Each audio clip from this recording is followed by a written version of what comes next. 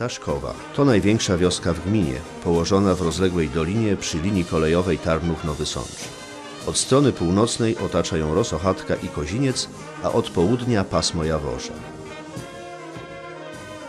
Wieś posiada duże walory krajoznawcze i łagodny mikroklimat.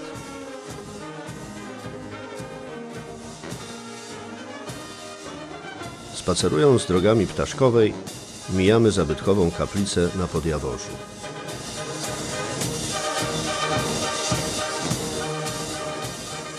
Przy bardzo dużym udziale mieszkańców wioski powstaje piękny nowy kościół z punktem widokowym na okolicę.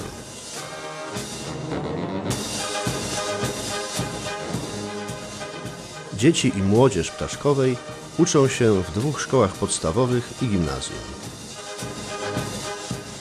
Niedawno odnowiono remizę strażacką.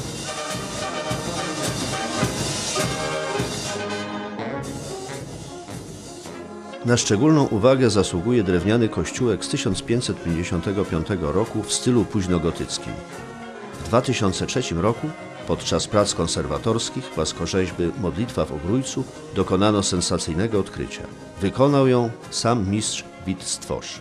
Obecnie można ją oglądać w Muzeum Okręgowym w Nowym Sączu.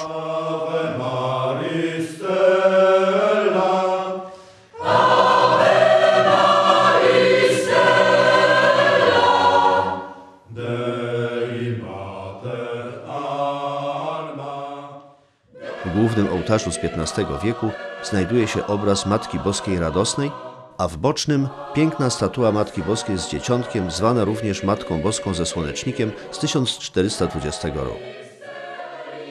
Wnętrze kościoła zdobią malowidła z XVI wieku i polichromia z końca XVIII wieku.